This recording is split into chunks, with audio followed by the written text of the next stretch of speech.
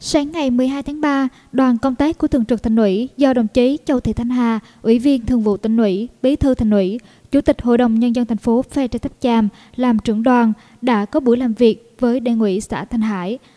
Nghe báo cáo về tình hình triển khai thực hiện nhiệm vụ năm 2023, phương hướng nhiệm vụ năm 2024, tình hình quán triệt, tuyên truyền, triển khai thực hiện các nghị quyết, chỉ thị, kết luận, văn bản lãnh đạo, chỉ đạo của tỉnh ủy, thành ủy, ban thường vụ thành ủy thực hiện nghị quyết đại hội đảng các cấp nhiệm kỳ 2020-2025. Cùng đi có đồng chí Bùi Văn Phú, Phó Bí thư Thường trực Thành ủy, lãnh đạo các ban xây dựng đảng thành ủy, trưởng ban pháp chế Hội đồng nhân dân thành phố Phan Rạch Tháp Chàm. Năm 2023, Ban chấp hành đảng bộ xã Thanh Hải đã tập trung lãnh chỉ đạo và tổ chức thực hiện nhiệm vụ trọng tâm với tinh thần khẩn trương, nghiêm túc và trách nhiệm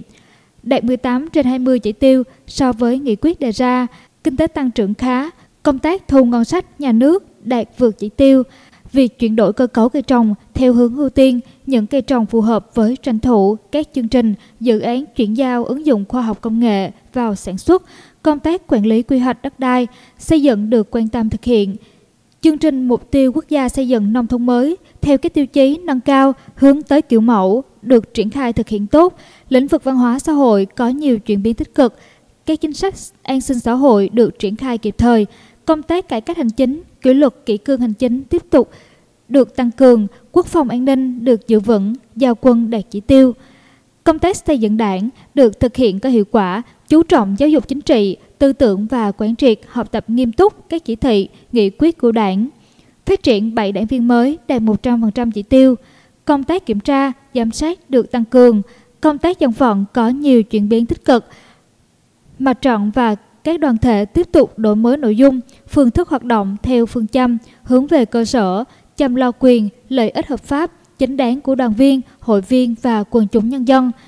Năm 2024, Ban chấp hành đảng bộ xã Thanh Hải tiếp tục xây dựng đảng và hệ thống chính trị trong sạch vững mạnh, phát triển kinh tế đúng định hướng, tập trung huy động các nguồn lực thực hiện có hiệu quả các tiêu chí nông thôn mới, nâng cao và xây dựng xã đạt chuẩn nông thôn mới kiểu mẫu năm 2024 đẩy mạnh các biện pháp để lập lại trật tự lòng đường, vỉa hè, tuyên truyền, vận động nhân dân nâng cao ý thức cộng đồng trong việc giữ gìn vệ sinh môi trường, thực hiện nếp sống văn minh, thực hiện tốt chính sách an sinh xã hội, giữ vững quốc phòng an ninh, phát huy cao độ tinh thần đoàn kết nội bộ, củng cố và nâng cao chất lượng bộ máy, cán bộ đảng viên, công chức, tiếp tục chỉ đạo triển khai thực hiện có hiệu quả kế hoạch số 47 ngày 8 tháng 4 năm 2021 của Ban Thường vụ Thành ủy về nâng cao chất lượng tiêu chí xây dựng nông thôn mới xã Thanh Hải giai đoạn 2021-2025. Tại buổi làm việc, các đồng chí thường trực thành ủy, lãnh đạo Ủy ban nhân dân, lãnh đạo các ban xây dựng đảng thành ủy và trưởng ban pháp chế Hội đồng nhân dân thành phố đã phát biểu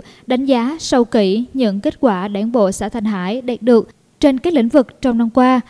cũng như chỉ ra những tồn tại hạn chế cần khắc phục trong thời gian tới. Phát biểu kết luận buổi làm việc, Đồng chí Châu Thị Thanh Hà, Ủy viên Thường vụ Tỉnh ủy, Bí thư Thành ủy, Chủ tịch Hội đồng nhân dân thành phố đã ghi nhận và đánh giá cao tinh thần đoàn kết, trách nhiệm, sự quyết tâm đạt được mục tiêu xây dựng nông thôn mới kiểu mẫu trong năm 2024. Đồng thời, đề nghị Ban chấp hành đảng bộ xã phát huy tinh thần đoàn kết, ra sức thi đua thực hiện tốt nhiệm vụ trong thời gian tới với mục tiêu xây dựng đảng trong sạch vững mạnh, kinh tế phát triển nhanh, bền vững quốc phòng an ninh vững chắc –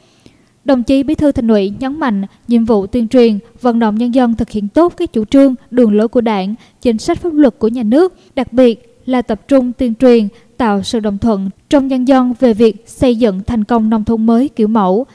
hướng tới xây dựng phường văn minh đô thị, phát huy vai trò nêu gương của người đứng đầu và xây dựng đội ngũ cán bộ, đảng viên, công chức có trách nhiệm trong thực thi công vụ. Chú trọng công tác giáo dục tư tưởng, chính trị, tăng cường công tác kiểm tra, giám sát, kịp thời chấn chỉnh, xử lý nghiêm các trường hợp vi phạm,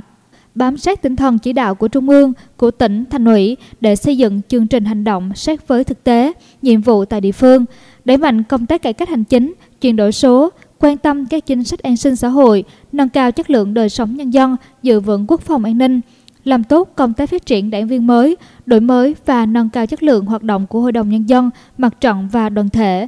làm nòng cốt trong công tác dân vận ở cơ sở, đồng thời phát huy vai trò giám sát, đồng hành của quần chúng nhân dân trong tất cả các lĩnh vực, sớm hoàn thành các tiêu chí xây dựng nông thôn mới kiểu mẫu trong năm 2024, hướng tới xây dựng đạt phường văn minh đô thị năm 2027.